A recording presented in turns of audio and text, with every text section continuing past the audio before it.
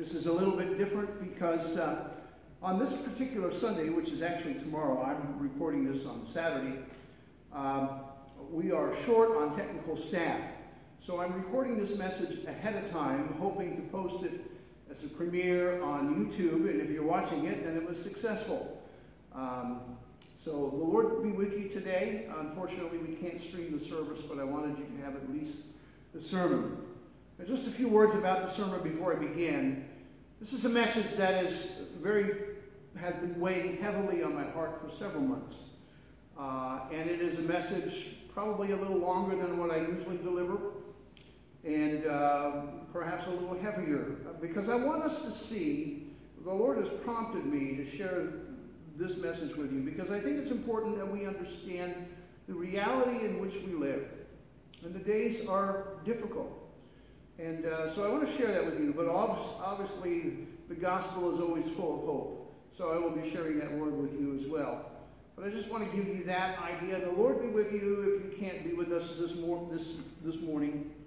Uh, may God be with you and open your heart and your mind as you hear this word that I believe the Lord has laid on my heart.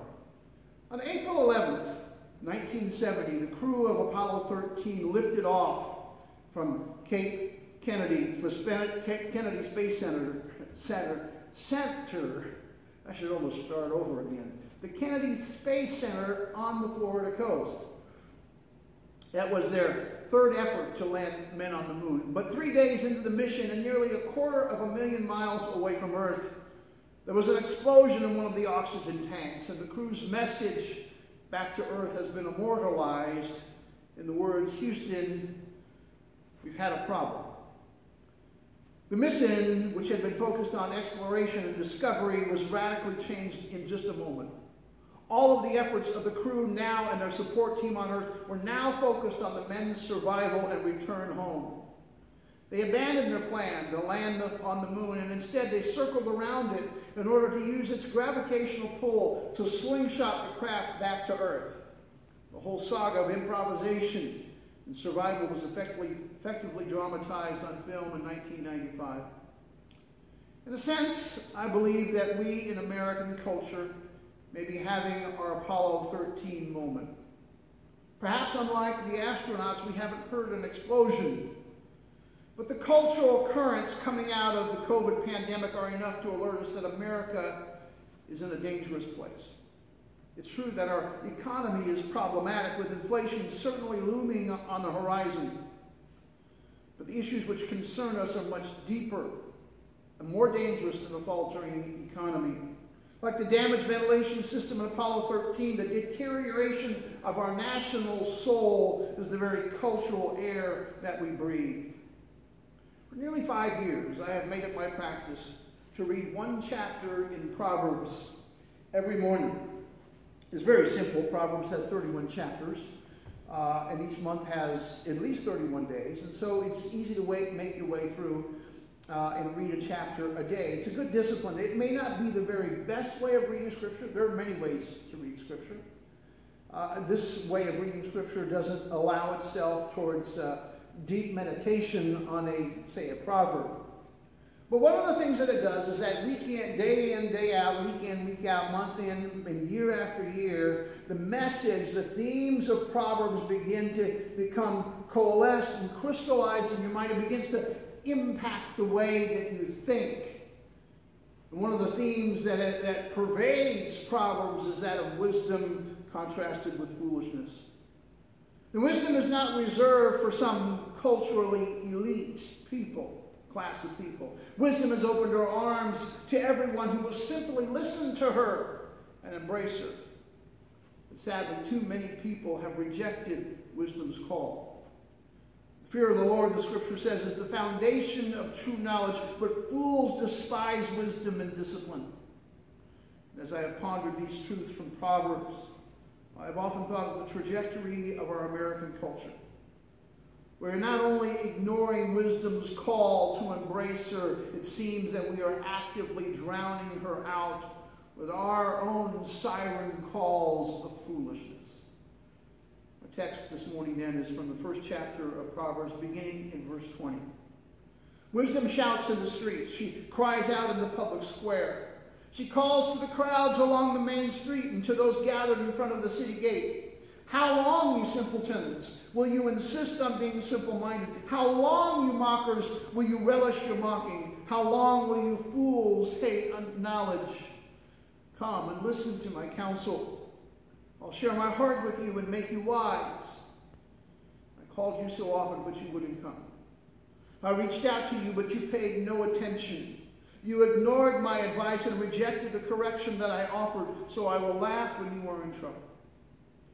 I will mock you when disaster overtakes you, when calamity overtakes you like a storm, when disaster engulfs you like a cyclone, and anguish and distress overwhelm you. When they cry for help, I will not answer. Though they anxiously search for me, they will not find me. But they hated knowledge and chose not to fear the Lord. They rejected my advice, and they paid no attention when I corrected them. Therefore, they must eat the bitter fruit of living their own way, choking on their own schemes. For simpletons turn away from me to death. Fools are destroyed by their own complacency, but all who listen to me will live in peace, untroubled by fear of harm. Let's pray. Father, we are gathered together as your people, a people who seek and are committed to hearing your word and this word this morning is difficult. Lord, give us the humility to embrace and accept and hear your word to us and the courage to follow you. Help me as I present and as I share the burden you have laid on me.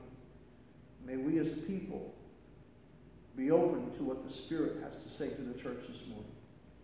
We pray this all for your kingdom's sake in Jesus' name. We are truly a blessed nation. We just sang the words to Katharine Bates' immortal patriotic hymn, America, America, God shed his grace on thee. Indeed, he has. From our humble beginnings with the Pilgrim Fathers, we had acknowledged our dependence upon God.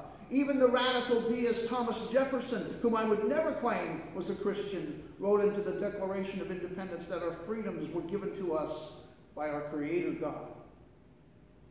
Throughout our history in the struggle to remain a unified nation, it seems that God has intervened at the most critical points. For example, in the early months of the War for Independence, the Continental Army under General George Washington had suffered a severe defeat in the Battle of Long Island. They were trapped and surrounded by, with the British General Howe just waiting for daylight to finish mopping up the operation. A quick victory was nearly ensured, bringing a quick end to the American rebellion. But God caused a thick fog to envelop the East River, enabling Washington's entire army to cross undetected at night and make a successful defeat, retreat. And throughout the eight-year conflict, there were several times when the weather seemed to intervene on the American side, providing either a pathway to victory or retreat. In the last major battle of the War for Independence there at Yorktown, General Cornwallis was waiting to be rescued by the British Navy, but a, a hurricane, timely hurricane, blew the British Navy away and offshore. You see, it seems as though God's hand was directly involved in securing our freedom from British tyranny. Perhaps even more importantly, God's hand has been upon this nation through the outpouring of his spirit in great awakenings and revivals throughout history. In the 1730s and the 40s, the great First Great Awakening swept through the American colonies, turning the people from spiritual apathy and debauchery to deep personal faith in Christ and a return to reliance upon God and his word. The revival was of enormous consequence in strengthening the soul of the people who would unite to establish this nation just 30 years later. All of the language about providence, about God that comes from our founders, really was a direct result of the efforts and the effects of the First Great Awakening 30 years before. And in the first 40 years of the 1800s, revivals swept across the American frontier in upstate New York. A rise of, of vibrant evangelical faith in that era would also strengthen the abolitionist movement that would eventually free us with enormous cost and determination from the scourge of slavery. In 1854, in the halls of Congress, amazingly, these words were heard. In this age, quote, in this age there can be no substitute for Christianity. That was the religion of the founders of the Republic, and they expected it to remain the religion of their descendants. Close quote. Indeed, it was the spiritual revivals of that era that spurred George Washington Gale to form his team, to journey from upstate New York to the prairies of Illinois to establish this city which bears his name and would become a significant station for the Underground Railroad. America is great because America is good. When we defeated Germany and Japan at the end of World War II, we could have ruled and dominated the whole world. The war had not come to our shores. We had a robust economy and people were united. We had the strongest military and we had the bomb. No other nation had that capability. And what an opportunity for imperialistic adventures. We could have ruled the world. And if they had been in our place, what would have Russia done? How about China?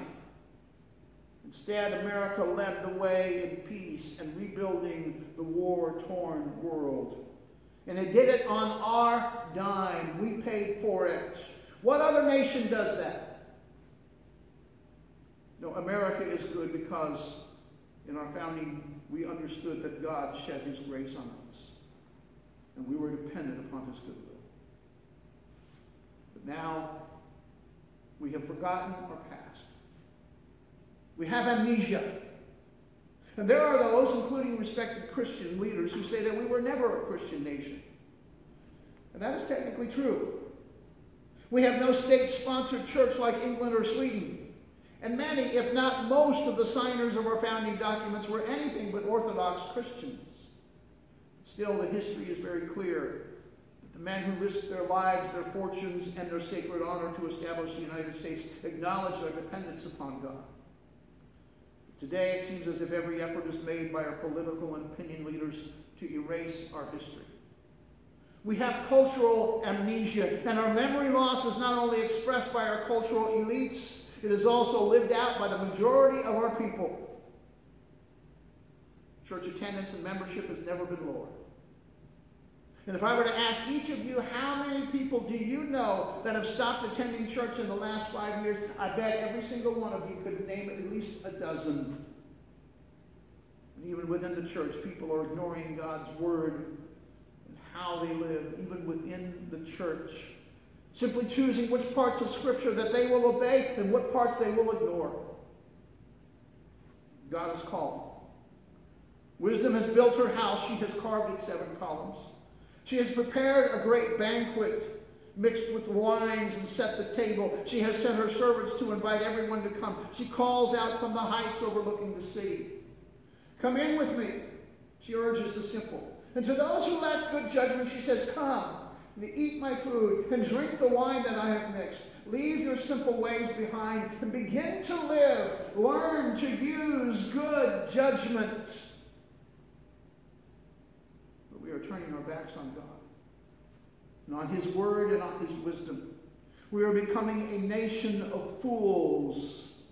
And I fear the price that we will have to pay. Repeating what we read earlier, I called you so often, but you wouldn't come. I reached out to you, but you paid no attention. You ignored my advice and rejected the correction that I offered. They rejected my advice and paid no attention when I corrected them. Therefore, they must eat the bitter fruit of living their own way, choking on their own schemes. For simpletons turn away from me to death. Fools are destroyed by their own complacency. Friends, I want to explain three major areas in our cultural conversation today where we are intentionally rejecting God. There are others, many others. But these three narratives come from long standing philosophies that have developed over decades, even centuries, to emerge in toxic secular initiatives today. The first is what we might call scientism. For many years, we have seen the decline of traditional spiritual life in America. We have seen the rise of what some have called the nones, people who say that they are spiritual, but they are religiously unaffiliated. They write their own rules, which of course is antithetical to biblical faith. But a spiritual vacuum cannot exist in human beings. We were made to connect with something, someone greater than us. That is an image of God in us. That void, that spiritual void, must be filled. The corona pandemic set the stage for the emergence of the religion of scientism. To be sure, a belief in science as the ultimate authority in life has been growing since the beginning of the Enlightenment in the 18th century. But the pandemic allowed it to become mainstream with its own clergy, the, the talking heads and, and, and, and so called experts, as well as its own Pope, Dr. Tony Fauci. Trust the science became the motto, and CDC guidelines became the scriptures. Shutdowns and mitigations became the sacred laws that must be obeyed. Disturbingly, it was the dictates that came out of, the, out of scientism that sought to marginalize the essential service of faith communities. Churches were shuttered, some to never open again. Now, I'm not a conspiracy guy. I, I, I've had the vaccines. I've had the two vaccines, even though I had my own bout with the virus. Trust the science? I don't know about you, but that is not a God I want to worship. Science is good, but it is not God. It doesn't take the place of Almighty Creator God. How often has the science changed? How many mistakes have been made in the name of this religion? And how many lives have been lost in bad decisions and mental health complications? You see, scientism has no place no room for the God of the Bible because faith is not subject. Faith is not subject to the scientific method. And so the scientism adherents reject Christian faith. And while on the surface it seems to be wise and full of good intentions, the root of scientism is infected with human pride and foolishness. Now, obviously, I am not a person of color. I have not lived that experience, so I cannot completely empathize, though I wish I could, with the struggles of people of color in this country that they have had to overcome to this day. That is why I do not wish to be understood in what I am about to say. As Christians, we are called to advocate for widows and orphans and the less fortunate people in our societies. The gospel compels us to hear the stories of those who are struggling and suffering, to feed the hungry, to work for justice, and to set the oppressed free. Indeed, it is, the only, it is only the gospel, only the gospel, friends, no politician, no, po- no political system, no movement. It is only the gospel that can bring true freedom and justice because only the gospel is based on self giving love than a grasp for power, which is the truth of all these other movements, all these other political movements. In the last 30 years, a new approach to addressing the inequities of society has emerged first in higher education and now in the culture at large. Critical theory is a diverse train of thinking that draws on various strands of postmodern thought psychoanalysis, deconstruction, and Marxism. Its most well-known manifestation in the last year has become is, no, is what is known as critical race theory, or CRT. But critical theory, including CRT, offers no answers. It only seeks to deconstruct and to tear down. It is divisive. Critical theory, at its core, is simply a radical grab for power, like all of these other movements. It has the manifestations not only of racial issues, but in political systems, economic systems, and sexual identity politics. Critical theory is throughout those movements. Its Marxist roots are clearly seen in the division of society into two groups. You have the privileged oppressors, and you have the victims. You have, eh, back in, back in the communist revolution, you had the bourgeois, the privileged bourgeois, and you had the proletariat, the people. But in all those Marxist revolutions that we have had, who comes out on top? A very small elite, powerful elite, and everybody else suffers. Code of morality in Marxism is clear. Those who are privileged are evil. They must be silenced and overthrown. And those who are victims have all the moral authority. But let us not be naive. Marxism, wherever it has been institutionalized, as in the former Soviet Union and China, has always resulted in violent atrocities and the loss of freedom for, our, for most people. Marxism everywhere is violent, it is dangerous, and it is atheistic. What seems to be a cause for justice ends up being simply a power grab for the few because of the sinful nature of human, human beings. Marxism and its manifestations in critical theory is radically atheistic. Why? Because with the emerging Marxist impulses in our culture, the church will always be an enemy that must be silenced or destroyed. We are viewed as oppressors because of the perception of privilege and our stand for biblical morality. Finally, in the last 50 years, we have witnessed the rise and triumph the modern self, and the sexual revolution.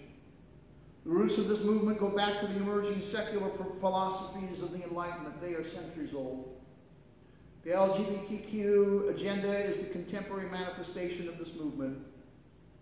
We just finished the month of June, so called Pride Month. Did you notice all of the rainbow flags being displayed in different ways? Why is it, friends, that the LGBTQ community is so militant in insisting that their identities be affirmed? You see, tolerance is not enough. We must support and affirm their lifestyle choices. LGBTQ people are insistent on acceptance because a person's identity is formed in community our first community was our family, through which people, through their words and actions, affirmed who we were, either for the good or for the bad. That's how we determined who, I, who we were. And as we grow, our community gets larger, but it is still always in the, in the dialogue of community that our sense of identity of who we are is formed. And that's why LGBTQ people demand, insist, and they will not give up that our, that our society accept them because it is a true psychological need for the self, the sense of self. But that is a problem for Bible believing Christians because the scriptures clearly teach that those lifestyles are sinful, not consistent with a biblical lifestyle, and they are a distortion of God's design and plan. You see, we cannot affirm and celebrate LGBTQ lifestyles and be faithful sure you can connect the dots. Bible believing Christians are the oppressors. We must be silenced or destroyed. And all three of these narratives, scientism, critical theory, sexual identity politics, seem to, pursue, seem to be pursuing good outcomes on the surface.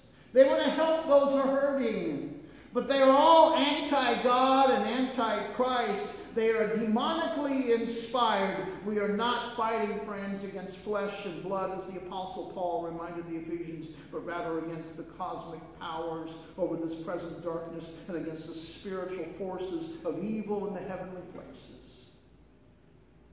You can see where things are headed. Is it any wonder that Bible believing churches in America are wantonly criticized, marginalized, and declining? This is where we are. This is our reality. America, we have a problem. And then how should we, as the church, respond to this emerging and threatening reality? I resonate with the psalmist who said, Rivers of tears gush from my eyes because people disobey your instructions. And when I hear the local news reports from our, in our city each morning, I shake my head in sadness at the foolishness and stubbornness of people who refuse to follow God's way. Do they not know? Could it be that they have never heard God's word and the invitation to life that is proclaimed in the scriptures? That probability should stir us to action and prayer. I am taken nearly to tears knowing that many church folk as well, however, ignore God's word, picking and choosing what suits them and live in wanton rebellion against Him. These are so called Christians. And if the people who are called by Christ's name choose foolishness rather than holiness, then there is no hope for the church. God cannot bless a sinful church, or he would have to apologize to Israel and all the seven churches of Revelation. If we will not repent, judgment awaits. Well known pastor John MacArthur, of whom I have never really been a fan, although he has given much to the church that is commendable. MacArthur claims that America is already under God's judgment. Perhaps that's true. I don't know. But I think the psalm that we read earlier offers us guidance and hope. So I trust the Lord for protection. So why do you say to me, Fly like a bird to the mountains for safety? The wicked are stringing their bows and fitting their arrows on the bowstrings. They shoot from the shadows at those whose heart are right. The foundations of law and order have collapsed. What can the righteous do? The Lord is in his holy temple. The Lord still rules from heaven. Psalm 11, verses 1 through 4. What can the righteous do? Don't give up hope. God is in control and he's got this. He still rules from heaven, but there's more to not more to it than not giving in to despair. You see, we have an opportunity here, friends.